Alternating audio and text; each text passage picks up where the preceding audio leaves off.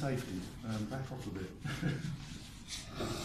Well, this is, yeah, we're. No, I'm going to cut it now.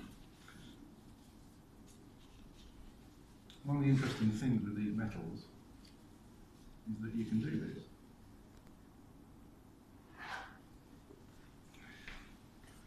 And what I've just done is cut it, and look how shiny it's gone.